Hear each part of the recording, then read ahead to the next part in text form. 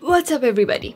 Welcome back to the channel. My name is Sadia and on this channel we generally talk about engineering, machine learning and scholarships but today we are talking about how you can make some extra money as a graduate student in Canada.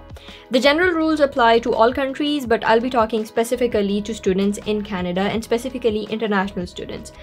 This is a requested video. Someone on the channel requested me to make a video about how to make some extra money since generally scholarships in Canada don't really cover enough amount to support yourself on your own and especially if you want to support your family, if you want to come here with your family or you want to send some money back home, then scholarships generally alone are not really enough and you need to make some extra bit of money to be able to send some money back home. But first, Thanks for asking this question. Thanks for subscribing to my channel. Well, thank you to the 2000 people of you who subscribed to this channel. This is incredible. I never imagined being here. So thank you so much for subscribing to my channel if you're a subscriber. And if you're new, please consider subscribing. Now, without further ado, let's talk about the type of extra income that you can have as a graduate student in Canada. Uh, first of all, the first thing you can do is to get an external scholarship, which is the best source of extra income that you can have as a graduate student in Canada. What do I mean by that? The scholarships in Canada are concurrent scholarships. A concurrent scholarship means that you can have multiple scholarships at the same time. Not every country allows this, but in Canada, you're eligible to have concurrent scholarships with most universities. So when you initially get accepted to a Canadian university as a student, uh, your scholarship comes from the professor and professor is paying you that scholarship out of a project grant a research grant that he got from some research body like NSERC or Mitacs or some other research organization so when you come here as a student, you are eligible to apply for external scholarships like FRQNT scholarship that I have. I will leave the details about that somewhere here in the link in another video that I made. It's a $10,000 per year scholarship that I got as a PhD student here. So I'll leave the link somewhere here in, in, in the card. You can check that out. There are scholarships from Mitacs, there are scholarships from NSERC, there are scholarships from Rio Tinto, there are a lot of external organizations that offer scholarships to students. So you are eligible to apply for those scholarships and once you get that scholarship your original scholarship that you were getting from your professor will not be the same. Depending on your professor you might still get some part of it as a bonus to you. Sometimes you might not get it at all but your external scholarship will generally be higher than the one you were getting from your professor. And your external scholarship can also be a concurrent scholarship. So you are eligible to apply in that case for multiple external scholarships and I highly recommend that as an extra source of income. If you want to get some extra money, first thing to do would be to apply for some external scholarships because for this there are no other legal conditions than to know that the funding allows for concurrent scholarships. Your second source of extra money would be some part-time jobs and that one is a little bit trickier Depending on the country you are in, you will have to check for the legal requirements if you are eligible to work in the first place. In Canada, generally international students are eligible to work part-time only, which means 20 hours per week maximum. You cannot work full time, which is 35 or 40 hours per week. You can only work 20 hours per week as a condition attached to your study permit. So do check your study permit to see how much, uh, how many hours per week are you eligible to work part time as a student while you are here. Uh, this condition does not apply right now. As of November 15, 2022 until end of 2023, since Canada is facing a lot of labor shortages, during this period, international students are eligible to work any number of hours that they want. There are no restrictions on number of hours of work they can do during this period. So you can work as much as you want and you will be legally okay. You won't get into any legal trouble because of that. Normally, if you work more than 20 hours and you're only eligible to work 20 hours, you will get into legal troubles because of that. So be very caref careful with the number of hours that you work. Give me one second, I just need some water. Okay, the first type of jobs you can have are on campus teaching assistant and research assistant jobs. For this, how to find them? You will go to google or linkedin or indeed and you will search for uh, on-campus part-time student jobs at your university name. So you will write mcgill or ets or whatever university you're studying at. You will search for research assistant jobs at mcgill or teaching assistant jobs as at McGill. And these will be part-time student jobs. Sometimes they are open to even undergrad students as well. So undergrad MS PhD all levels of students can have jobs like teaching assistant and research assistant on campus. Generally these are well-paid jobs. You can earn anywhere between $20 an hour to $30 an hour which is on the higher side. So this will be a good source of income for you if you're a student you can apply for these jobs at your own campus as well as at some other campuses because generally there is no restriction that you have to be studying at the same university where you want to do this internship or this job, this research assistant, teaching assistant work. So you can apply at other universities nearby as well. The average salary for this type of jobs generally in Canada for student for all types of student jobs is $46,000 per year.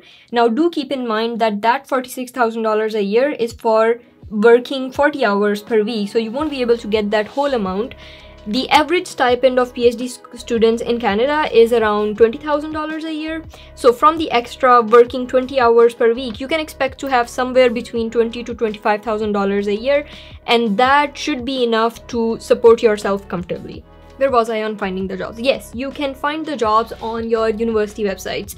And these are not the only jobs that you can have on campus, the research assistant and teaching assistant.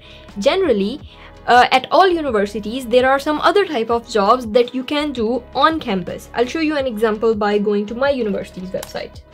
I will search for part-time on-campus jobs at ets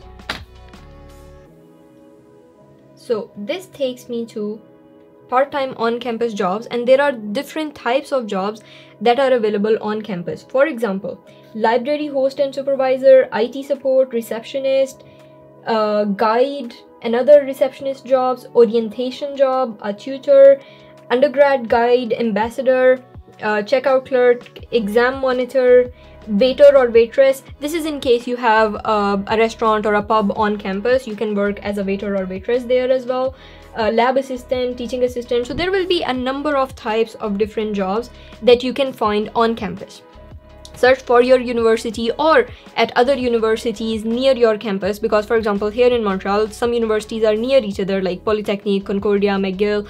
If a student lives near the downtown area they can work at any of these uh, student jobs and they are generally eligible to work at any of these campuses. So search for student jobs or part-time student jobs at campuses nearby because these will generally be higher on the higher end of the payment uh, spectrum when it comes to student job payments. Now the third type of student job that will still be on the high payment side is an internship.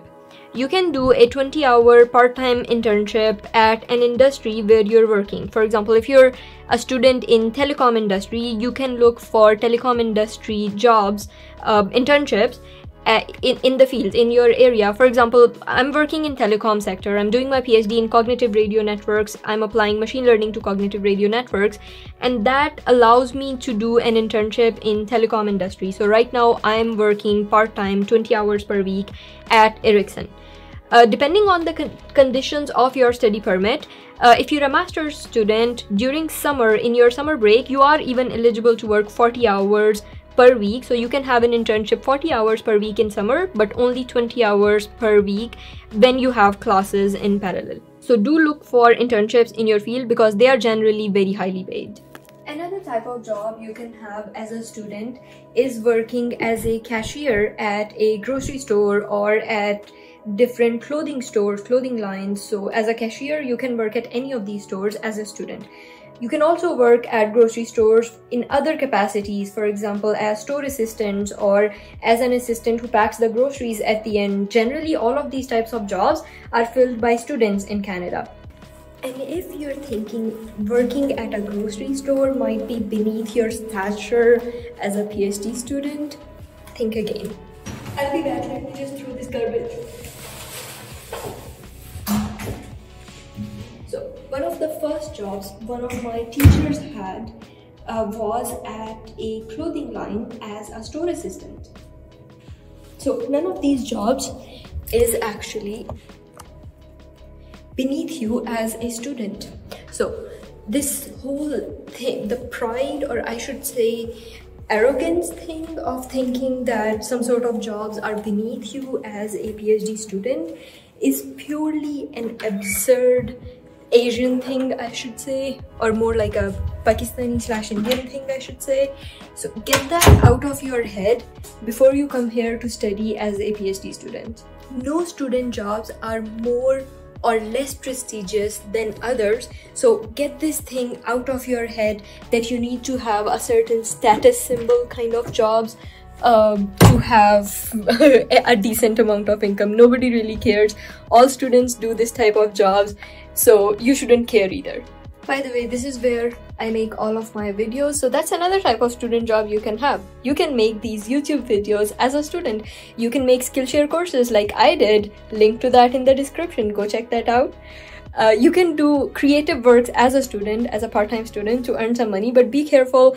That will be a very, very long game right now. I don't make any money. So if you can check my Skillshare course, that would really help me. And if you can subscribe to my channel, that would also help me make some money as a student. Let's get back to talking about more student jobs that you can have as a student in Canada. If you are not eligible for any of these types of jobs, then comes slightly lower paid than these jobs. And these include, for example, delivery services like Uber, Skip, DoorDash. You can work for that, and generally, you can make a decent amount of money by working as a deliverer for these. Another type of jobs that you can do part-time as a student are at restaurants, pubs, uh, you can work as a barista, you can work as a waiter, you can work as a server, you can work in the kitchen, you can work at the McDonald's. So all of these types of jobs will generally be slightly uh, less paid than the higher end technical internships or research work, but they will still be well enough paid that you will be able to support your family if you're bringing them here or if you're sending money home. They are still generally very well paid jobs. Or, or you can work as a cat sitter or a dog sitter. Yes, that is a real job. Mm. Yes, Tash. Right? That's a real job, right? Yes, it is a real job. You can work as a cat sitter or a dog sitter, and he wants to go. There you go, baby. You can work as a dog walker, a cat sitter, a dog sitter. Um, if you like humans, you can also work as a babysitter, but that depends on your poor taste. Sorry about that. You can also work as a social worker and work with, if you're passionate about community service, you can work uh, get paid for it and work for homeless people for example. You will find social worker jobs or community service jobs that are very satisfying as well well paid. Uh, you can also have jobs like video game tester if you're into gaming. That's a pretty decent job to have as a student you can also work as a language interpreter in or you can work with youth community centers. There are a lot of different types of student jobs in canada and as well as generally in north america that you can have. So there's no shortage when it comes to finding a part-time job for yourself. You can work at warehouses you can work as a receptionist you can work in production line as different types of uh, tester for different equipment so, yes, do search for these jobs on LinkedIn, Indeed, company websites, your own university's websites. There are plenty of places, and if everything else fails, just search for them on Google and you will find plenty of student jobs nearby. There are also some seasonal jobs in Canada for summer as well as for winter. For example, in summers it can be a water park, lifeguard, it can be other summer sports related jobs. In winter it can be ski instructor, ice skating instructor, guard at a ski resort. So there are specific these summer and winter related jobs that you can have as a student and many students actually do this type of jobs. All of these are well-paid jobs but nothing really beats having an external scholarship which gives you a very decent amount of money without really having to work on something other than your own PhD. You're still working towards the same project, this, you're spending the same amount of time on your PhD and you're getting a very well paid external scholarship. So if you want to see how i got the frqnt scholarship which is a approximately $100000 per year scholarship i will leave a video here and you can watch it to see how i got that scholarship. And if you want to apply for it feel free to reach me if you need any help. See you next time